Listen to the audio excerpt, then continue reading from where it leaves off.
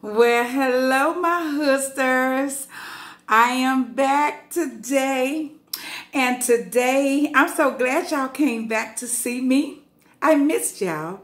I hope y'all miss me too. Um, thank you so much for coming back. Uh, all my new hoodsters that's coming in, hit that um, that subscribe button.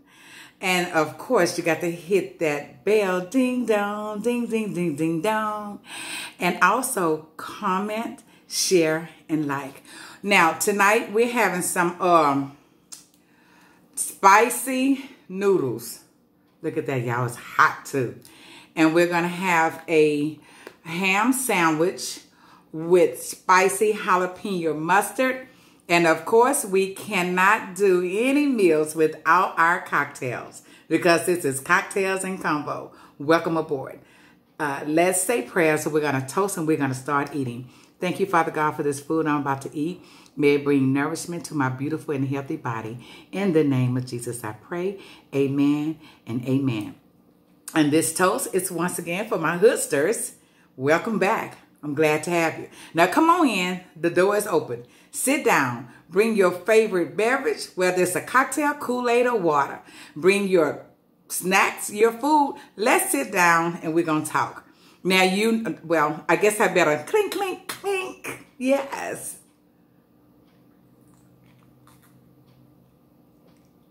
Oh, this is good. Okay, don't forget, y'all. Can y'all send me some recipes uh, for some vodka fruited, fruited drinks? Because I'm always having the same, you know, uh, vodka, cranberry, and, and, and, and um, grapefruit juice with this lime. So send me some so I can try it out and shout y'all out so I can drink it with y'all next time at dinner time.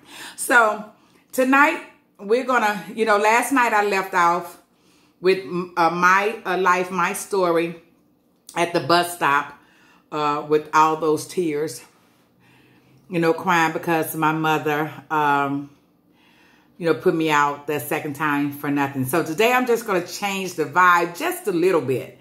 Because me and my good friend, we always talk about relationships in today's time. And then I did have a TV show on the digital channels here in Texas. And my show was called Living Single living safe. So we're gonna we're gonna we're gonna uh, talk about some of that uh, today. Oh, mm. y'all, y'all know I had I had pasta last night, didn't I? So dating today, I'm gonna talk about a bit about my dating. I met two men off of Facebook. One we kind of courted. One we are still uh, talking or chatting or whatever you want to call it today. Uh, one I met at a, a store on my way to Dallas. And I'm going to just stop at them three. I think three is enough, right? Oh, but then I, I can also bring up two of my past relationships as well. But we're going to leave them back there in the past where they belong. So, dating today, let me tell you what I think about it. And I keep cutting my head off, don't I? Well, anyway, dating today, mmm, these noodles everywhere. they, oh, that really is spicy too. And they hot. And so I'm going to tell you about it. I think today you meet, you smile, you giggle. Oh, hey, y'all. You exchange numbers and you say, thank you so much. So when should I expect your call? Or do I have to wait 24 hours before I call you? What, what, is, what are the rules? So, you know, you call the next day. You text, well, you know what? You don't even get the call the next day. You get a freaking text. For me, texting is not conversation for me. So, okay. Honey, You get that call. You're so happy. And you're smiling. Like you in your dentist office like, girl, he on the phone. Ooh, ooh. You chit chat with these men. They offer you out for a brunch or a lunch, sometimes even dinner. I, I on my first date, I try ne never to go at night. I think for my own safety reasons. And so I only go on brunch and lunch, period. So you go on the first date and you, you, you do feel each other. You like each other. You're flirting with each other. You, you, you, you seem like you have these endless, endless conversations. So he take you home. Then he want to get all up on you. It's like, dude, you only paid $25. You, you know, what about that kiss on the forehead? You remember back in the day when we truly courted? When your mama say, you, your mama, your daddy, and your daddy, or your mama, or your daddy say, you better have my daughter back in here uh, by 10 o'clock. So, you know, you, the little boy bring you back home. He walk into your porch. You know, he kiss you on that jaw. You get that jaw like, I had a good night. Thank you. So you, I'll see you at school tomorrow. Today, let me tell you what I think. Today. The dating is so different. And I haven't even touched my sandwich. Today you go out, you have three conversations. And I'd be damned if that next conversation ain't about sex. Dude, you don't know if I slept with somebody this morning. You don't know if I mm, mm, mm, this afternoon. And you want to do what? Why? That's what it is. Sex comes up so fast. So fast now. And it's not enough. We have to contend with all these diseases out here. I don't know. Today, everybody's sleeping with everybody today. My teeth cutting my head off. What's the problem?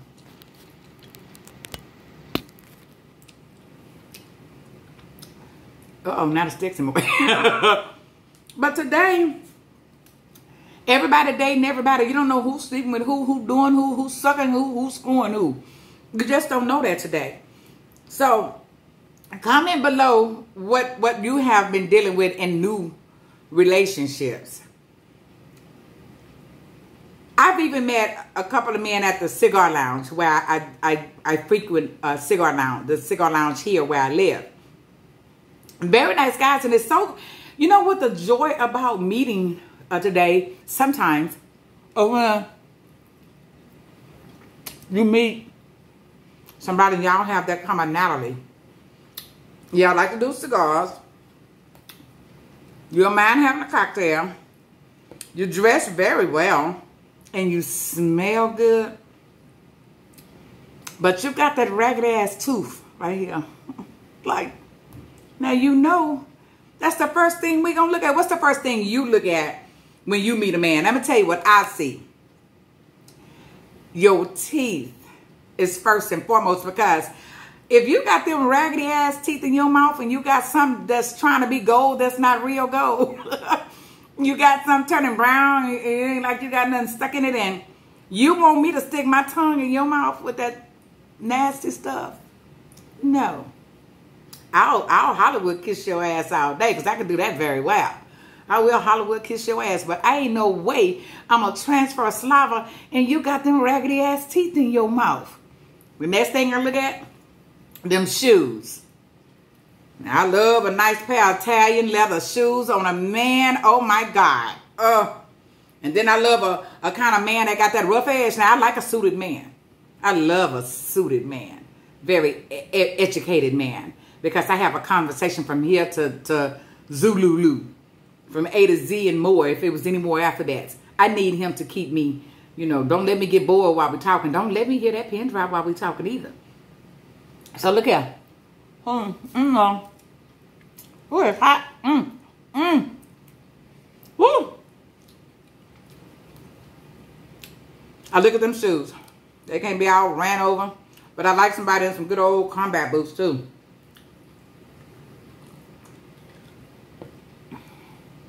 And then let me tell you what else I look at. Not everybody have one.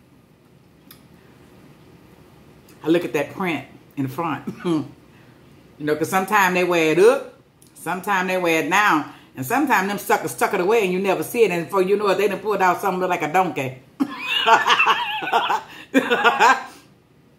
so that don't don't don't let don't let the not don't let the front end if you don't see it fool you. True enough, I yeah, mm-hmm. I've experienced that. Anyway, I was married once. I divorced in 2006. I never wanted to marry again. I didn't have the zeal for it anymore. I did not date for seven years after I divorced because I felt that this is now time for me to heal from that broken marriage and to get to know me because I was married for six years and I needed to get back to know who I was because the the curse word that I'm about to tell y'all that we really must do in a marriage is submit. Submit. I know that sounds like really bad, don't it? But we're supposed to do that. And I did it. I followed my husband. I actually became the shadow of my husband. So I needed to find myself. Oh. Mm. Y'all. You know, oh, I always do it. This is some leftover um, Thanksgiving ham on this brioche bread. And I put some, uh, I toasted it with some butter. And I put some uh, jalapeno mustard. That is so good. Can y'all see it up close?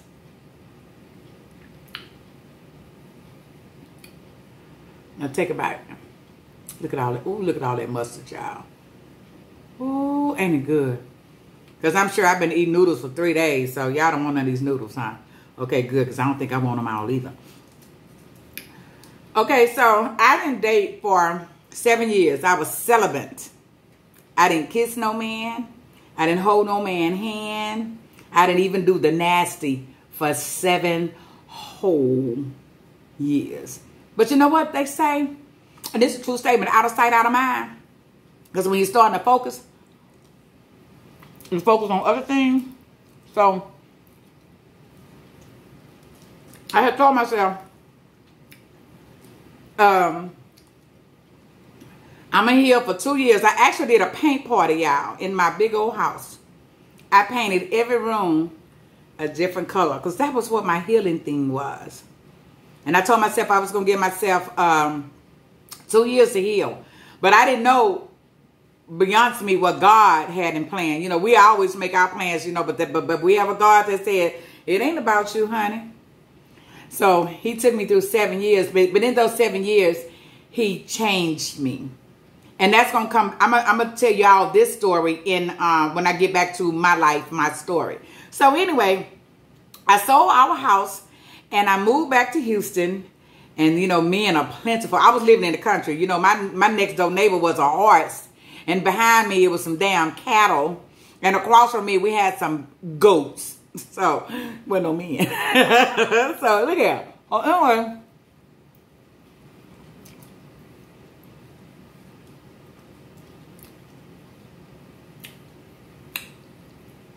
I met this man at the mall. And he was so easy to look at. I hadn't seen a man look that good in so long. I thought he was a nice tall glass of chocolate milk on ice. I just want to drink his ass. Mm. I stopped him. mm-hmm. Mm-hmm. I stopped him just to say, hi. I just want to let you know you are so handsome. Me and that man end up on the side of that wall, walking into the mall on the side of that wall before you get in that main door for one hour. He must have been intrigued with me too.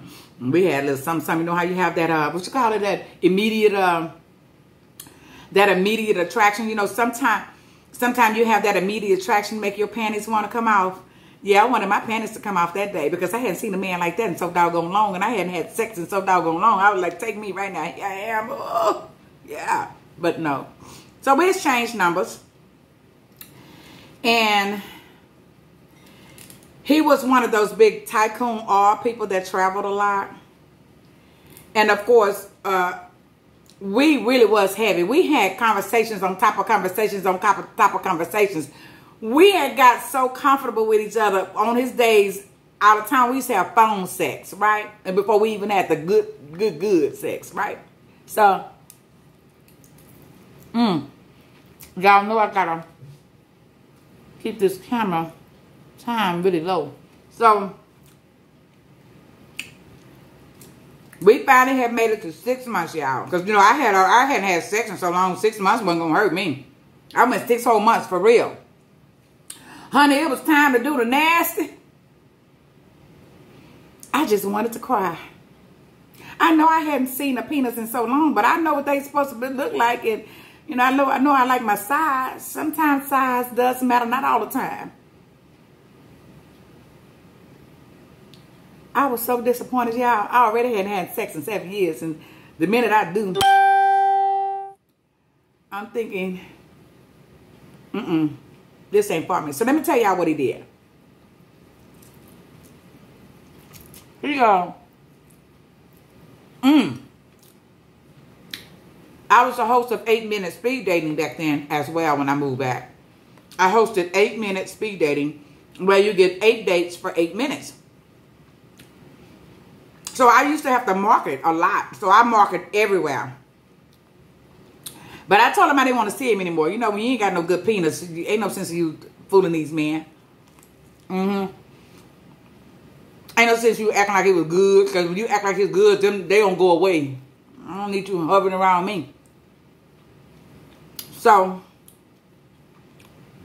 one day I got this phone call, one Friday night. I got this phone call. And the phone call said, Mm. Y'all, this is a good sandwich, and I don't eat bread that much. But when I get in my taste for some bread, I can put it away. I'm trying to see this time, y'all. I'm using a different video camera. I can't see. And I got glasses on.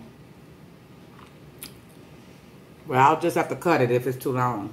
I, I mean, I don't know how, but I'll I'll try. I think it's 17. I think it's 17 minutes, y'all.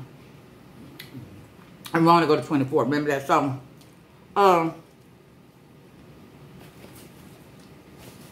he said, we need to talk. I said, uh, about what, if I may ask? He said, I have pictures. On the phone, I said, you got pictures of what? He said, are you and these men? But, you know, he didn't use men. This fool ain't had number one piece of pussy. Ooh. He didn't have but one piece of good good from me. One. Where my finger at? Can you see? Yeah, can y'all see my one piece of good good? This fool and went out and hired a private investigator. Mm, you saw right here, a lot of pictures of me working, marketing, trying to get people to sign up for my events. That's what the hell you get. I told him, if I see you anywhere around my building, I'm going to have them arrest you for trespassing because who the hell hires a private investigator after one piece of good good and you wasn't no good? lost your doggone mind. Yeah, I went back into celibacy. So we're gonna speed up to the day. You can you can you can get some good good before you even get the last name. For me, I need to know a lot. I need to know. I need to be attracted to you. Number one, I, you got to be a kisser because in that kiss, you mm,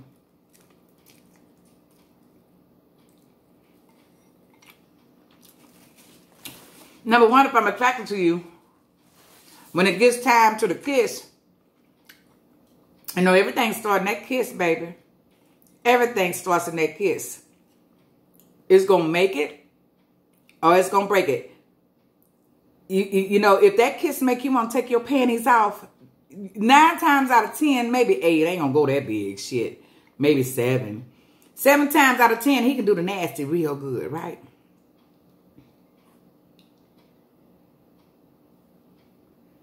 One thing I did learn, even I see it today when I did eight minute speed dating, there's three things that can happen. So pay attention, y'all, when it comes to dating. You can meet somebody, and it's that that that instant attraction. It's like, God damn, ooh, shoot, I want me some of that. You know, it's like, ooh, good Lord, this man made me want to take my panties off. Do I do it here or do I wait? That's number one, that instant attraction. And I don't think it lasts very long either. And then you have the second one that says, oh, I, I, can listen to you more and more because she's, you know, and in the mind, it's like, oh, she's good wife material. Or in her mind, it's like, oh, he's good husband material. So you, you want, you want this to go on. You don't want it to end because you, you see some promise. You want to stick with those too. That's the one you want to stick with the most. Not the, not the, not the instant attraction because instant attraction is like instant. It starts off so good and fast and fast and furious. And then that shit in like a cake that didn't fail because you stumped on the floor and took it out the oven. That's how fast it can, it deflates. And the third one, y'all, y'all ready for the third? You meet that sucker, or he meet you and you say, oh, hell no. You ain't to do that. oh, well. That's dating to me today. Today, men and women, everybody want to treat you like you're an option. Like, when I find out that you, that like, okay, like, okay, let's, okay, I'll say this. Let's just say I text him on a Tuesday and I say, good morning. How are you? How was your day? And he texts back on Friday and say, great. I'm an option because there are so many options out there on both sides. You don't have to go into somebody, whether you like them or not, and make no commitment or, you know, no promise to say this or that. When you try to put me in an option category, guess what the hell I'm going to do? I'm going to opt out. You don't get to treat me as an option. No. Because I think, and people want to play these mind games today. If you like me and not like you, let's do this shit. Let's let's let's try to like each other as long as it lasts. But all this mind game playing because you got so many options out here and you know you know you got the best conversation with me. You know if you got the good goods. And then when I say, oh, hell no. And then two weeks later, you coming back and you saying, I sure do miss you, sunshine. Well, guess what? I'm gonna rain on your head. Hmm. Forget the parade. I'm gonna rain on your head. Ain't no coming back, fool. Because when you had me, you knew you had a good thing. But you went over there because that grass was spray painted green. And you was too fool to understand that when it rained a few times, that shit turning back brown. What you doing? Mm-hmm. Mm-hmm. Who I'm talking to? Mm. Let me get these noodles out of my mouth. Who I'm talking to? Holler back at your hood girl. Holler back. Mm-hmm. That's what it is today. But I'm not gonna give up. You know, I don't. I do not want. I don't want to die alone. I'm over in my fifties over there. Mm-hmm. I don't want to die alone. I do want to. Uh, what is? You see, I'm getting tongue tied. Uh, hmm. Are they boyfriends? Are they my boo? Are they my man? Or are they my boo thing? My best friend? What title are we using today, y'all? Hell, I don't know. I really don't know. But I'm just going to encourage all of you guys, be careful out there. There is a lot of diseases out there. Some are curable and some you're going to die from. Ain't no ends, ifs, and buts about it. So please be careful out there. I'm trying to see the time. Mm, that's it. 20 more, 24 minutes. Mm-hmm. Oh, what? Oh, like, oh, goodness, I can't have, oh. Okay, look here. I want to thank y'all for coming back. I like this conversation. We got to do this conversation again. Comment below on what experience new that y'all had when y'all came to meeting new boos or new bows or new friends or new whatever y'all call them. I want to read it. I want to know. I want to know. And then give some ideas on what we as women can do um, to help them change their mind or help them in they men are natural hunters. Don't forget that. Men seek their prey. And when they look at something and it it it, it looks good to them, they they they do what that that uh, lion does. He he keep his eye he, he keep his eye he keep his eye on his prey. And seventy percent of the time he ain't gonna he ain't gonna uh, get it, but he he focus and he gonna run after it and he gonna run after it and he gonna run after. It. If that if that man ain't running after you, you better walk away from that. Matter of fact, matter of fact, I tell you to run. You know, like Forrest said, run, Forrest, run. You better run your ass away from him because if he ain't chasing you and you ain't his prey, he gonna use you. Don't let him do that. Anyway, y'all, we we we have to discuss this some more. I'm getting a little excited. Yeah, th this is good. So look here, for those of you who came back, I'm gonna say thank you again. Thank you so much, my hustlers. All my newcomers, please don't forget to hit that subscribe button, that notification bell, ding dong, ding dong, ding, ding, ding, ding, ding, dong. I can't sing y'all. And of course, I need you to com uh, commit, I mean, comment, commit. I'm talking, them relationships got me twisted. Comment, share, and like. And until tomorrow, I will see you again. Don't forget, bring your favorite beverage, your favorite food, and we will sit here and we will talk it out, talk about it, and talk it through right here with that Hood Girl 2 with cocktails and convo. Good night.